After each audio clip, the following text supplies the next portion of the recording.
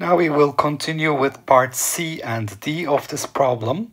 Uh, remember that we have two ladders, 3 and 4 meters long that have this configuration and there is a rope in between them at a distance 0.9 meters from the ground and um, uh, these ladders are uniform and we have no friction at the ground and we talked about the free body diagram and the geometry in detail in the previous video. Now in part C of this problem, find the magnitude of the force on one ladder exerts on the other at point A. So we want to know this horizontal and vertical components and therefore the force applied by one ladder on the other. Okay, so in order to solve this problem, first I look at the equilibrium on the x-axis, net force on the x-axis should be equal to 0. And you can see that this is already satisfied because the, the uh, horizontal component of the force is balancing the tension on the uh, rope. So we have a t minus t equals to 0 for each of these ladders. So t minus t is equal to 0. This is already satisfied. That's something we talked about. How about the net force on the y-axis? Uh, so if I concentrate on the left ladder here, uh, the forces that have components on the vertical axis is the this one, V, the force applied by ladder 2 on ladder 1, which has a vertical component.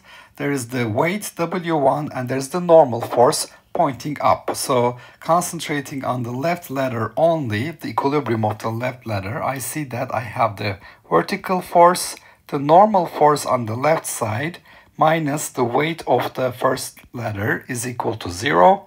So this tells me that the vertical force should be equal to W1 minus N sub L, which is W1 minus Sub L we have found in part A to be 0.68 W1 plus 0.18 W2. So I substitute that here, 0.68 W1 minus 0.18 W2. So I find that the vertical force is 0.32 W1 minus 0.18 W2. Okay, so that's the uh, symbolic answer. Now if I substitute the numbers here, the vertical force is 0.32 times 480 newtons minus 0.18 times 360 newtons. That gives me a vertical force of uh, roughly 82, 89.1 newtons. So that's the numerical answer. Now, what is the force exerted by the left ladder on the right ladder or the right ladder on the left ladder? They are equal in magnitude uh, according to Newton's third law. And uh, we know the vertical component and horizontal component. It is square root of v squared plus t squared. That's the magnitude. So I have 89.1 uh, square plus 322 point, uh, let me see what was the tension, 323 uh, squared, square root, here I'm actually using the exact numbers in this calculation.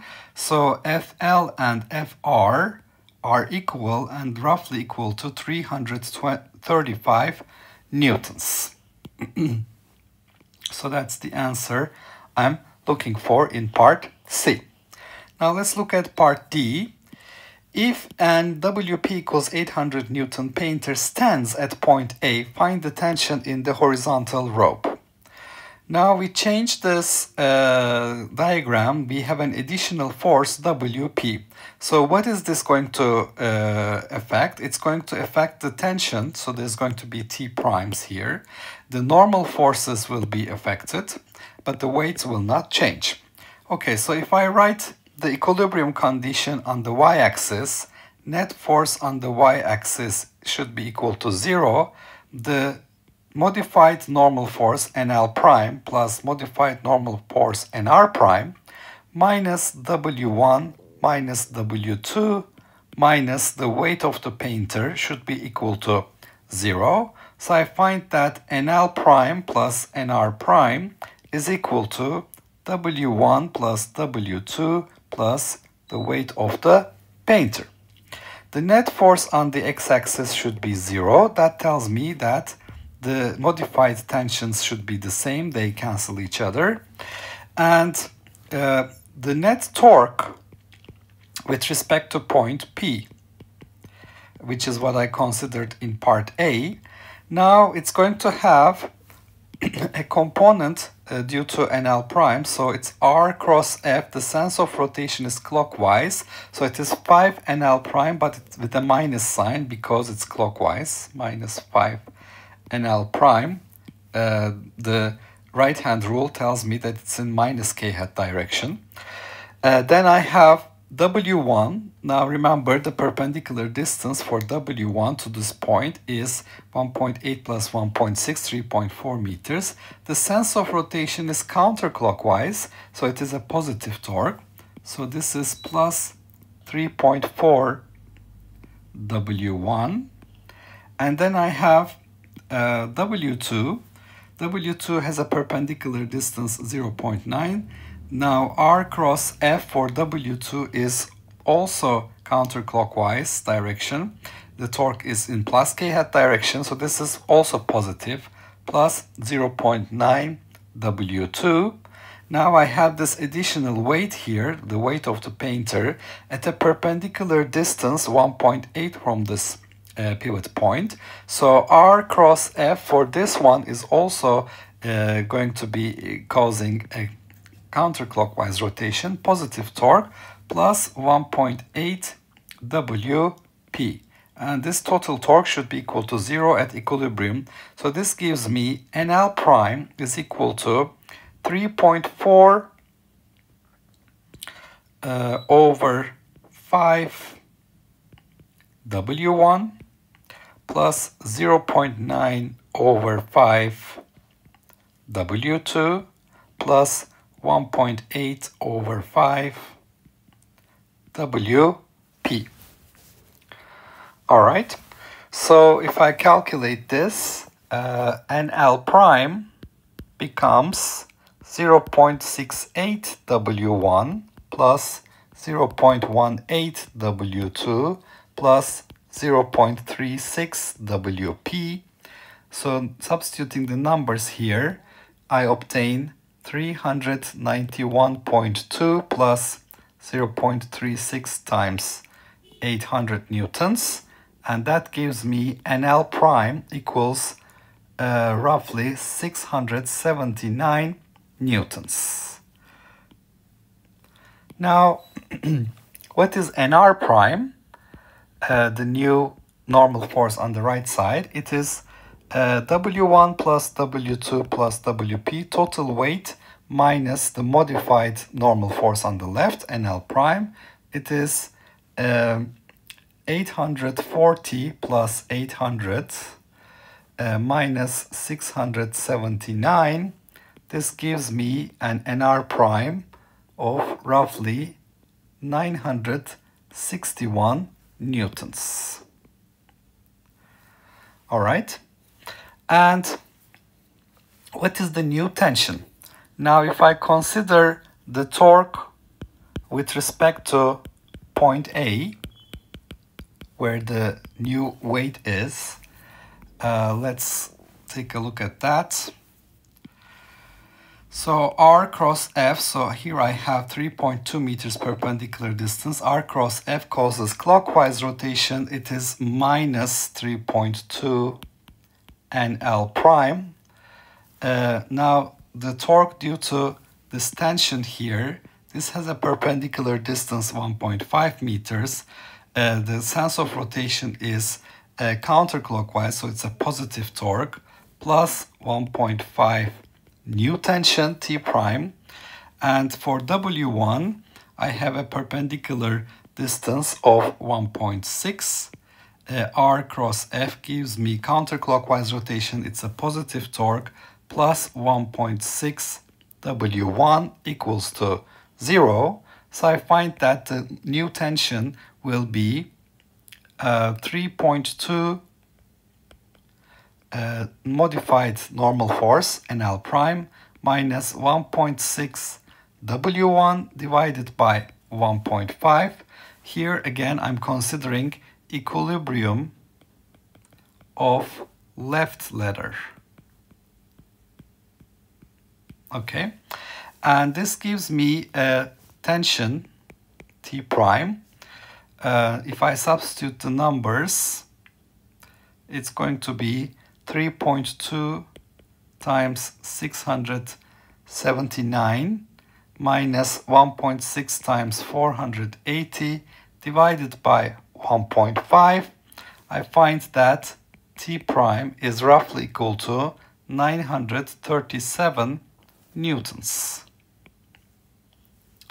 Okay, so what was the old tension? The tension we have calculated before was 323 newtons here in part B. Now with this additional weight, the tension has increased. So what do we find? So the additional additional weight of the painter